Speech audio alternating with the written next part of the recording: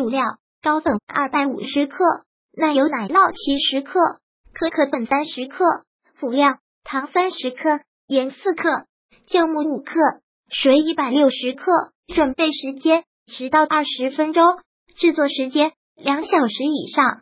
将高粉、可可粉、奶油奶酪、糖、盐、水揉出膜，放入保鲜袋，冰箱冷藏发酵。发酵好后，取出，回温，滚圆松弛，搓成长条，卷起，放入瓮中，二次发酵。